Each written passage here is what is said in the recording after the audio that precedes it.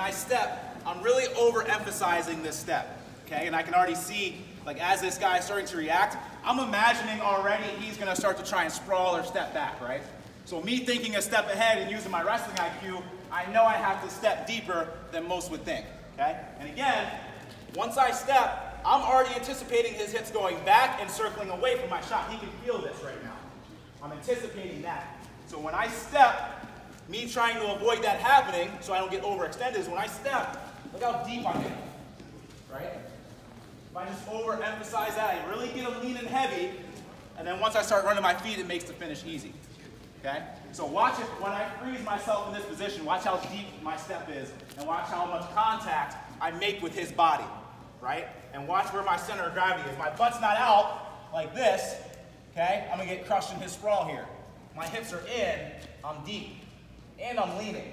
So I've already got his weight going that way, right? So once I get this wrist down, and I go to pull, look how deep I am. Look at how I'm leaning this direction. Okay, it's gonna be really hard for him to defend this position. The only thing he's gonna try and do is take that right arm, go over top of my head, where it's hit, but I got him beat.